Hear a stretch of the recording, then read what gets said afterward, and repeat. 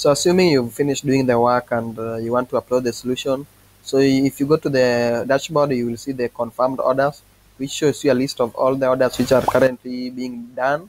And uh, if you have finished doing one, let's say you have done this one and you want to upload it, so you click the order ID so that it can open for you the the order details page on a new page. So on this page, you will be presented with the the list of requirements the student uploaded and also some messaging between the student and the admin in this section. So on the on the left side, you find the details about the time remaining and also you are given a messaging area where you can write a message to the admin yourself. So for now, we want to do upload. So you click this upload solution button. It will open a dialog box which asks you which type of assignment you want to upload. Is it a completed one or a partial one? So partial means it is still ongoing. Completed means it has been done. Now it is ready for submission. So you click completed so that it, it gives you these questions you answer.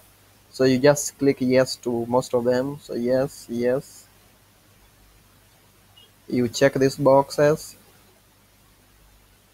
and in this message box you just say complete solution uploaded so and again another message box here you just say complete.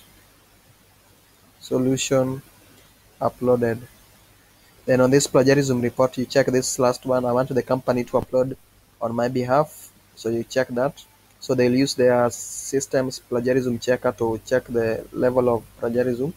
Then you just upload the file you want to upload to the portal. So you normally they are a given number of files accepted so you should always bring assignment in docs if there are uh, files which cannot be uploaded you like for example codes you put them in zips zip file so you can upload the zip as a whole if there may be some file types which you can't upload so once you're done you just check this box I'm aware that this solution is genuine, correct, and not plagiarized. So it's just like confirming that everything's okay.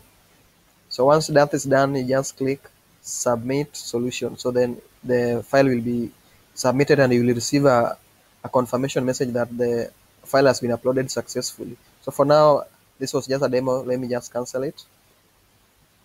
Yeah, so that's basically that's how you upload a, a solution.